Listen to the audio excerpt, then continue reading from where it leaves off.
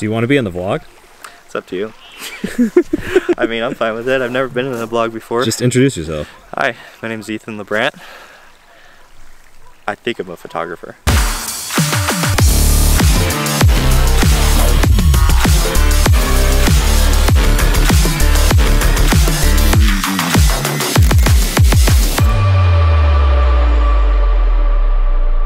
The things I love about photography is talking with other photographers and meeting new photographers. Photography for me has become this way um, where it's not just something that I practice and do by myself, but it's connected me to a group of just awesome and amazing people.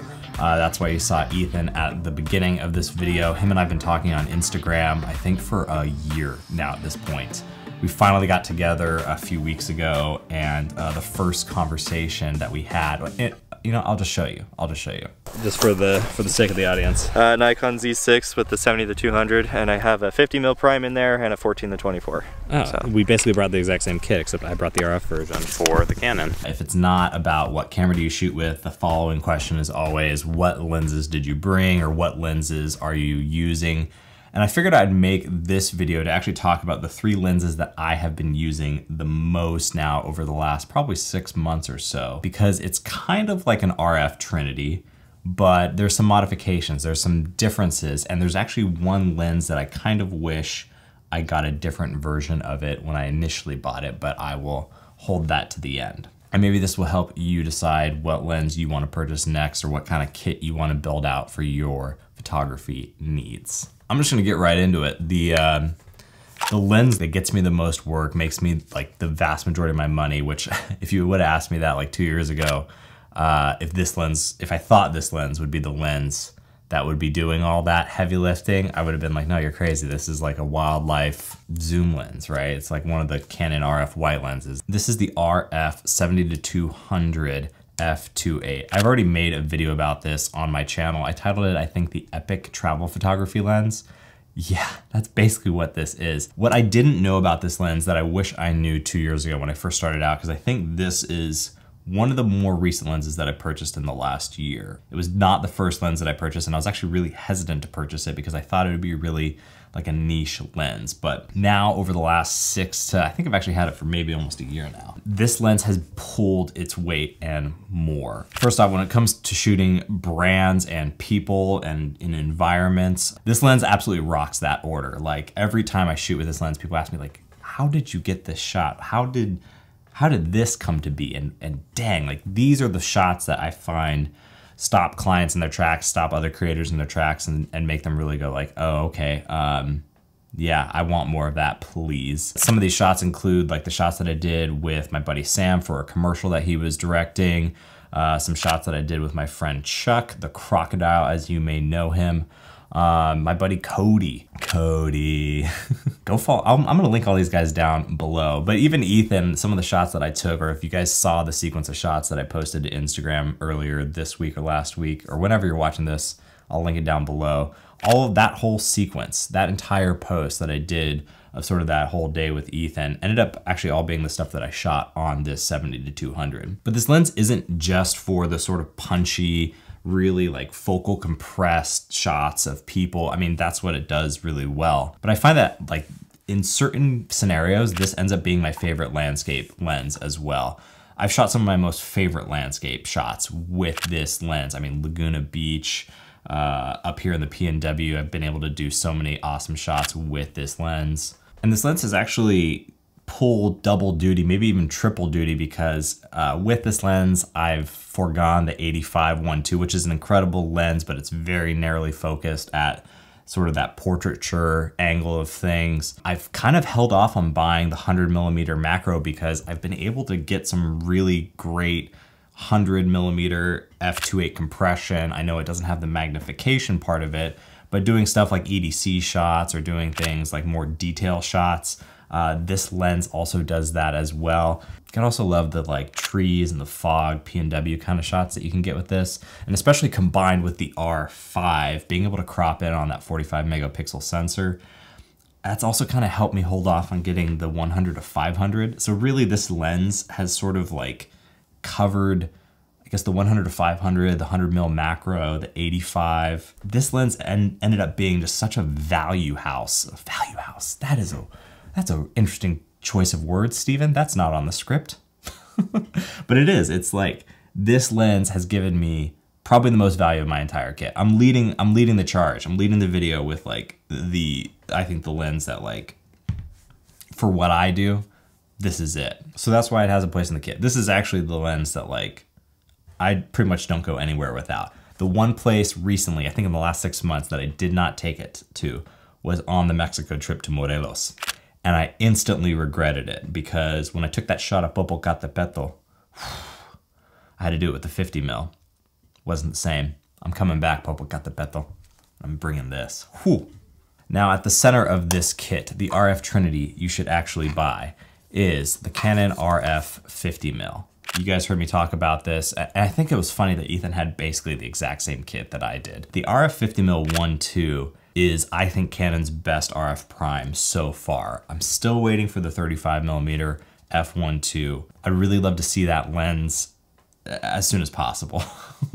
That's like, but the 51.2 is absolutely amazing. This is the lens that behind the 70 to 200 has gotten me probably the most work and also produced the most value, just kind of second only to the 70 to 200. Not only has it been great for some of these like photo and lifestyle shots for different brands that I've worked with, some of my favorite thumbnails that I've shot for this channel, like the EDC video that I did this past year, or the Moment CP filter video that I did this past year, both of those were shot on this 50 millimeter lens. I will say though, this lens is highly underrated for landscapes as well. There's a little bit of compression because it is 50, but if you really need to like air out the space and just have something that feels big still, without going maybe down to like a 15 to 35 or 14 to 35, this lens still gets the job done. I'll show you guys a few shots here of some of the shots that I've been able to do on the 50 that look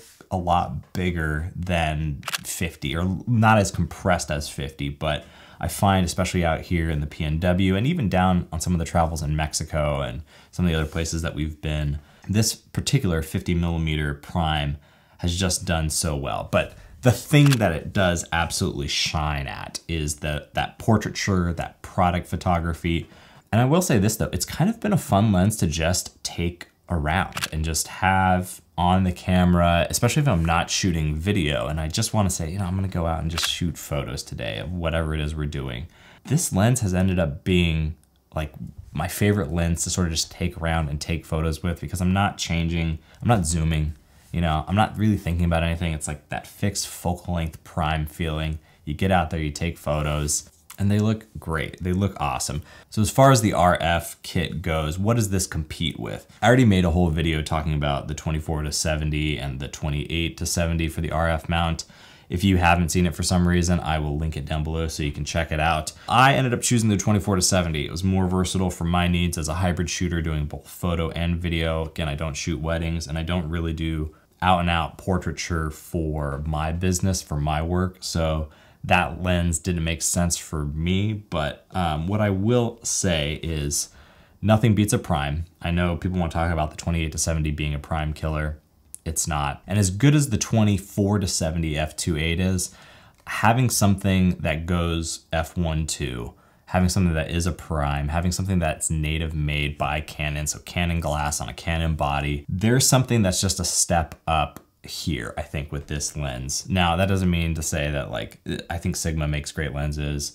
Tam I've seen some of the Tamron stuff. Even if you go back to like older EF glass and just adapt that onto your R5, I think that's a great way to get really awesome primes on your RF mount body. At the end of the day, centerfold on the RF platform, I think the 50 mil is the thing that you want sitting in there, especially having the 35 on one end, which I'm kind of giving away with the next lenses. I should put this over here so I can actually talk about it. And the final lens for my sort of Trinity carry that I have is the 15 to 35 f2.8. This is actually the 24 to 70 because the 15 to 35 is what's shooting this video. But there's sort of a twist to this lens and, and I'll explain it to you here.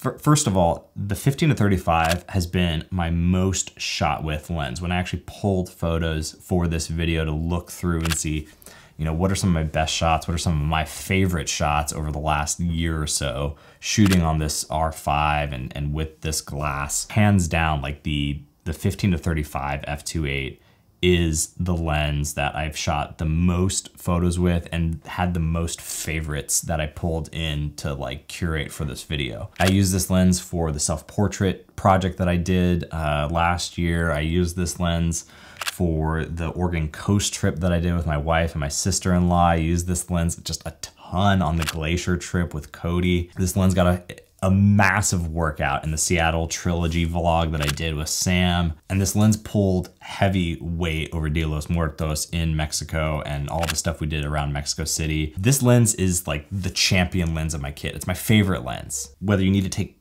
portraits of people at like 35 or you're doing big landscapes all the way out at 15 or some of these more like detail shots or even more just sort of like establishing shots like this lens just does so much. You wanna talk thumbnails, like pfft, some of my favorite thumbnails also have been taken with this lens. I think this was the first lens that I bought for this camera. Now I did mention that the 24 to 105 f4 is like, I think that's the first lens everyone should buy. That was the first lens we got back when my wife got the R and I was kind of playing with the R and, and that lens I think is probably the first lens you should buy. But if you're looking to build out like a trilogy kit, you would be hard pressed to do better than the 15 to 35.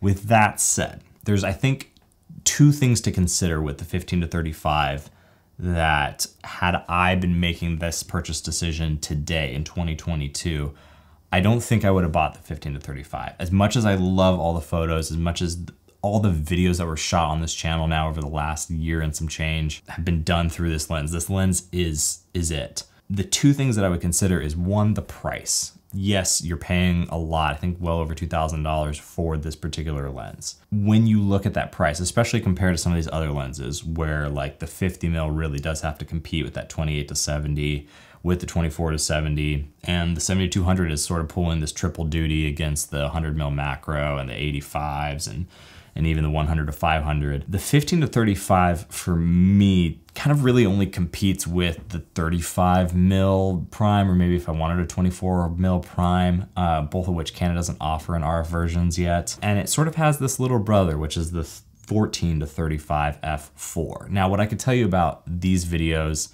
here is I, I shoot these videos in this studio at f4 because I want that focal plane to be wide enough to allow me to mostly stay in focus. Obviously, if I reach out here, then we lose focus.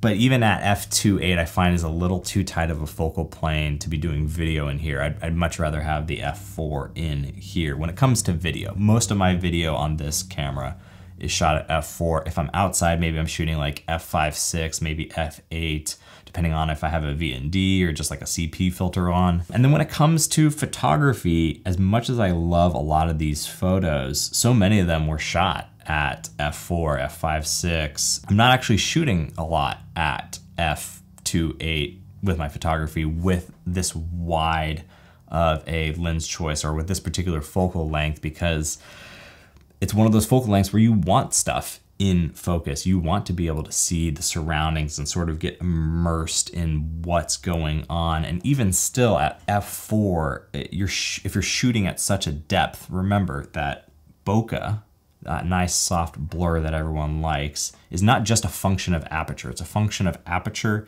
and focal length, and then applied to your to your composition. So as as shallow as you go to as far deep as you go. All of that is a function of how much blur you're going to get. And if you're taking a 35 out or even shooting as wide as 15 and you're gonna go shoot on a frozen lake or you're gonna go shoot out over the jungles of Mexico, you're gonna still get plenty of blur with f4 or even f5.6. So I think if I was going to make this purchase again today, I'm, I'm not gonna sell this lens. This lens is awesome. But if I were someone who needed to make this purchase decision today in 2022, I would probably go with the 14 to 35 f4, save like a thousand dollars on buying that lens. and then apply that to maybe getting like a Sigma EF style, you know, 35 1.4 and then have an extra 35 prime um, or apply that to being able to get the 50 f1.2 or the 70 to 200. I will also say this, the one outlier of the 15 to 35 now in this entire kit is the fact that uh, it's an 82 millimeter thread mount and the other two lenses are 77. And if you don't want to be adapting your filters all the time, the 14 to 35 is also a 77 millimeter thread mount. So you can buy one set of filters, all 77 millimeters for your VNDs, your polarizers, UV filters, maybe if you want more like cinema, like anamorphic flare type stuff or some of like the mist filters that are out there. Having to only buy one set and not having to like go through the hassle of adapting to different lenses as you, you know, work um, that's kind of nice. I, I really like that. So I would like to have the 14 to 35 for those reasons. You could save a little bit. You're still covering, I think, all the aperture that you want for that lens. Um, and and you could save some hassle with the um, the filter stuff. So let me know down in the comments below uh, what your kit looks like. What is the Trinity RF setup that you have? You know, it doesn't even need to be RF. If you have a few lenses that you really dig and why, leave it in the comments down below. And if maybe you don't have that setup yet, leave down below a comment about um, the lens you want to buy, the lens that most excites you, and if this video maybe changed your mind on what you might want to pick up. To all of you, I just got to say thank you so much for watching. My name is Steven Foster. Be kind in life and in the comments below. Subscribe to this channel if you have yet to. I think that's it. We'll do it again soon, all right? Later. Yeah.